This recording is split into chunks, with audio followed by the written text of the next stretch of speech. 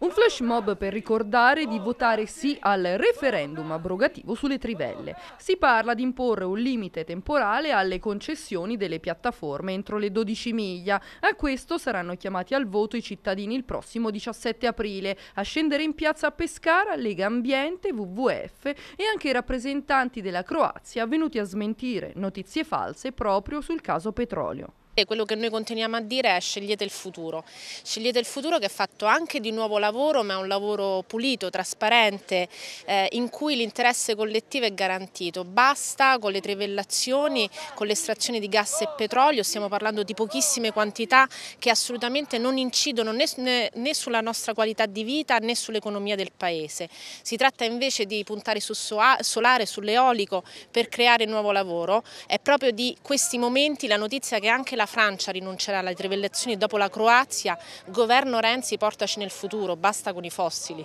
E allora quali sono i messaggi degli ambientalisti per i cittadini? E invitiamo a votare sì perché si tratta di ristabilire in maniera chiara che le concessioni per le trivelle a mare entro le 12 miglia devono avere una data di scadenza, non possono essere senza eh, fine e poi perché bisogna fare un primo passo fondamentale verso eh, il rispetto di quegli accordi che abbiamo preso a Parigi eh, come Italia insieme ad altri 180 paesi. La Croazia oggi viene a manifestare a Pescara per esprimere quello che forse in qualche modo vuole essere ancora di più sottolineato. Siamo oggi qui le associazioni ambientaliste che eh, vengono da tutti i paesi, dunque dai cinque paesi che si affacciano sull'Adriatico per dare un supporto alla battaglia dei cittadini italiani contro le trivelle. Ci siamo accorti che c'è in corso una